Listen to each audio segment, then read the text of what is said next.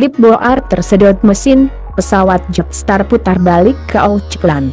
Sebuah klip board atau papan penjepit kertas menyebabkan sebuah pesawat tujuan Sydney, Australia harus putar balik ke Auckland, Selandia Baru.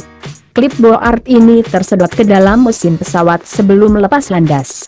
Seperti dilansir AFP, Selasa, 27 Februari 2018, Insiden ini berawal saat petugas lapangan di bandara meletakkan kumpulan kertas kerja yang disatukan dengan sebuah clipboard itu pada bagian congling mesin pesawat. Congling merupakan penutup mesin pesawat. Usai memasukkan muatan bagasi pesawat, petugas lapangan ini lupa mengambil clipboard berisi kertas kerja itu. Seorang pekerja lainnya yang melakukan pemeriksaan keselamatan pesawat melihat keberadaan clipboard itu. Namun dia tidak mengambilnya karena berasumsi clipboard itu akan diambil oleh pemiliknya sebelum pesawat lepas landas.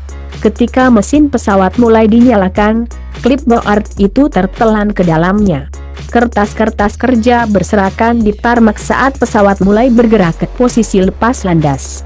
Entah bagaimana, sama sekali tidak ada yang memberitahu awak pesawat milik maskapai Australia berbujet rendah, Jetstar itu hingga pesawat mengudara. Akibatnya, pilot pesawat terpaksa menerbangkan pesawat ini kembali ke Auckland. Insiden ini dialami oleh salah satu pesawat milik maskapai Jetstar, anak perusahaan Qantas, pada 27 Oktober 2017. Hasil penyelidikannya baru dirilis oleh Biro Keselamatan Transportasi Australia, ATSB, pekan ini. Mesin, pesawat, diperiksa oleh para teknisi dan kertas-kertas ditemukan di dalam mesin. Mereka juga menemukan potongan logam terpotong, jelas ATSB dalam laporannya.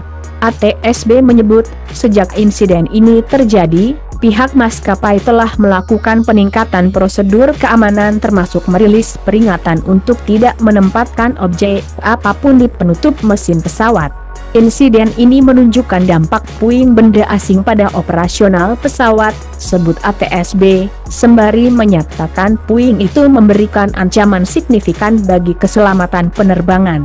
Ini memiliki potensi untuk memicu kerusakan pesawat selama fase genting penerbangan, merugikan maskapai dan bandara jutaan dolar setiap tahun, imbuh ATSB dalam laporannya.